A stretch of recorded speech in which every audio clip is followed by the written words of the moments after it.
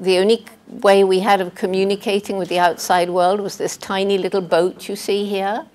And twice a week, it used to go into Kigoma, the nearest town, 12 miles along the shore. And she played a very important role in that in those early days, although I was in a way in my dream world, the forest is very beautiful. The chimpanzees ran away as soon as they saw me. They're very conservative. They'd never seen a white ape before, and that's what I was. But when I would come down dejected in the evening, knowing that if I didn't see something exciting, the project would end and I would have let Louis Leakey down, she would say, But Jane, think what you are learning. You're learning how they make a bed, a sleeping platform each night up in the trees. You're learning the kind of foods they eat. You're learning how they travel around in these different sized groups. You are learning a lot. Anyway, there we were, and yes, I was gradually learning. And look at this picture carefully because I'm going to come back to a rather different one later.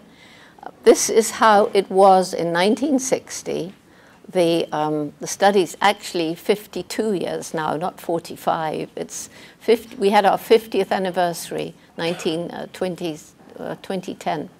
Um, it was forested like this all along. And where you see uh, the bare hills, that's because it's very rocky up there. But most places was forested with woodlands up at the top all the way along the lake for mile upon mile. It's 300 miles long.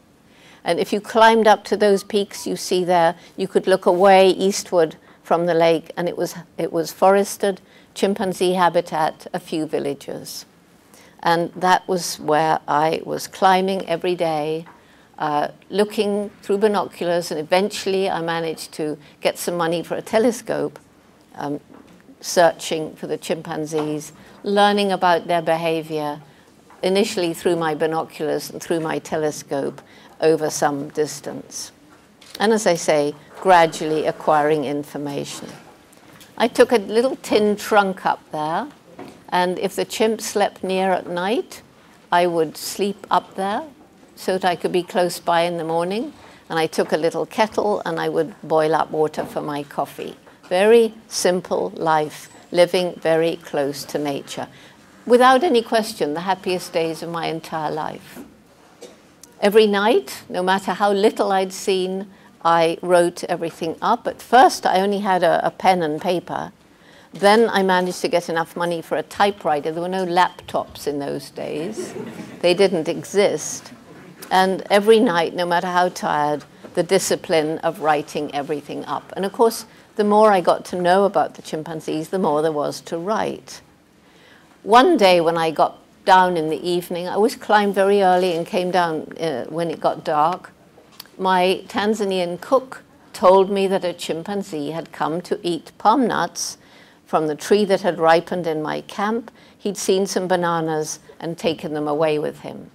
My mother had left by this time. And so I said, well, leave some bananas out. Maybe he'll come tomorrow. I stayed down after the fourth day and immediately recognized this splendid chimpanzee male as one that I had begun to get to know in the forest, the one who had least fear and very distinctive. I mean, look at that beautiful white beard. And he was to become known as David Greybeard. And of all the chimpanzees over all 52 years, this one has the closest place in my heart. He, in a way, introduced me to his friends in the forest because it got to the stage where he would actually take a banana from my hand. And the first time he did this is another day I will never forget. And so, because of this, if I approached a, group of chimpanzees in the forest, maybe by mistake too close, and they're all ready to run away, but if David was in their group, they would look from him to me and I suppose decide, well, she can't be so scary after all. And so gradually I got to know the other chimpanzees. It was almost as though David helped me to go through a door into a magic world, the world of the wild chimpanzees. And how fortunate I was to be the first person to go into that world and really study the behavior of these extraordinary animals. Um, David Greybeard, you can see. Over to your right is Goliath, his best friend. And then you get the old female Flo grooming her daughter Fifi. I began to learn something about their complex social structure. There's a top ranking or alpha male, and usually there's about five or six males who are ranged below him, more or less a linear dominance structure.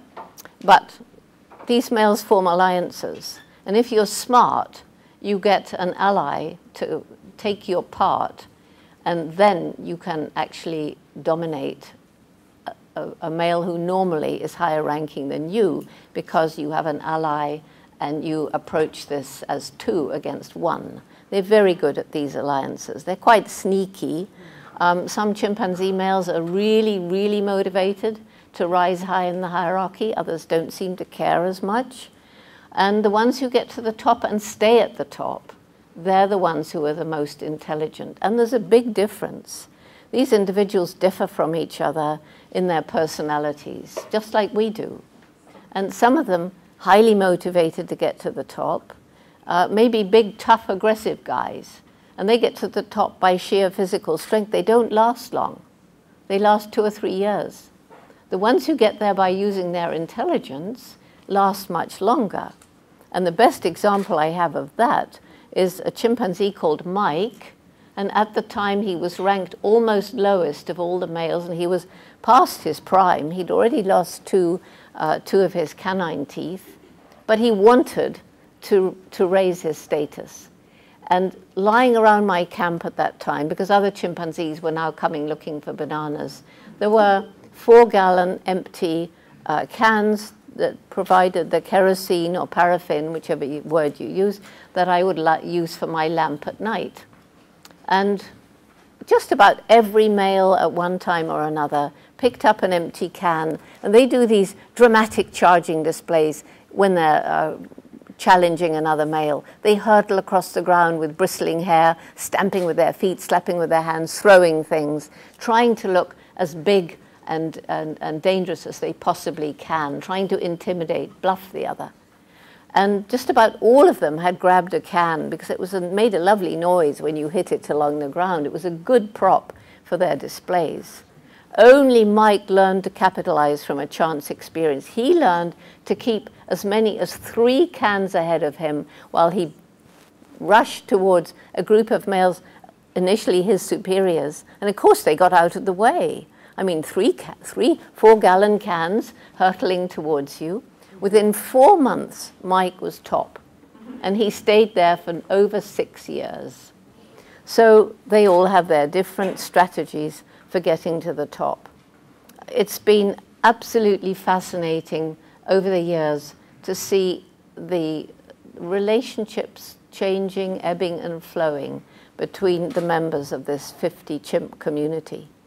Of course, I was learning about the foods they eat, mostly fruit, also stems and blossoms and almost everything you can imagine. They're omnivores like us. And sometimes they feed on insects. Um, these are catching uh, flying termites. Uh, they do hunt. They hunt for meat sometimes. I don't have a slide with me, but they do. But then, just after my mother left, came the real breakthrough observation. I can never forget the day I saw a chimpanzee. It was actually David Greybeard. This isn't David Greybeard. David Greybeard crouched over a termite mound using a stem of grass to fish for termites, pushing it down into the hole, slowly withdrawing it, biting off the termites that were clinging with their jaws. And sometimes he would reach out and pick a twig, a leafy twig, and in order to use that as a tool, he had to strip off the leaves. That is the beginning of tool making. Why was this so exciting? Because back then, 1960, it was thought that humans and only humans used and made tools. We were known as man the tool maker. So when I sent Louis Leakey an excited telegram, He said, ah, now we must redefine man, redefine tool, or accept chimpanzees as humans.